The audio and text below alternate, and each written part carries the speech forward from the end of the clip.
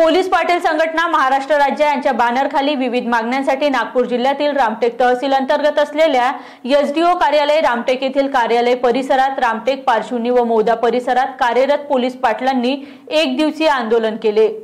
Ramtek SDO कार्यालय परिसरात आयोजित या ठिया आंदोलनाच्या माध्यमातून एकूण दहा मागण्यांचे निवेदन उपमुख्यमंत्री देवेंद्र फडणवीस यांना एसडीओ वंदना सौरंगपते यांच्यामार्फत देण्यात आले.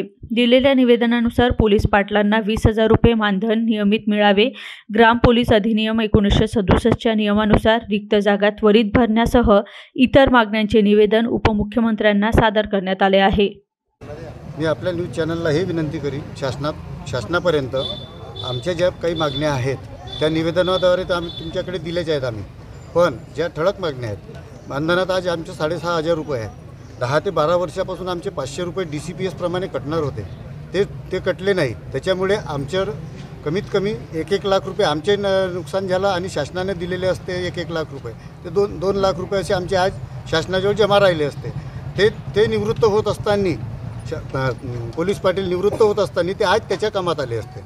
आम्ही आज धरणे आंदोलन यासाठी ठेवलेलं आहे. प्रलंबित मागच्या वर्षी आम्ही हिवाळी अधिवेशन येथे मोर्चा नेला होता आणि फडणवीस साहेबांनी आम्हाला आश्वासन दिलं होतं की आम्ही तुमची मीटिंग लावून हा तुमचा जो मानधनाचा वाढीचा मानधन वाढीचा जो मा प्रश्न आहे तो आम्ही सोडवू. परंतु एक वर्षाचा लोट लोटून गेला.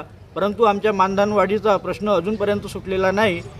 आणि कमीत कमी आम्हाला किमान वेतन याप्रमाणे सुद्धा आम्हाला मानधन देण्यात यावं.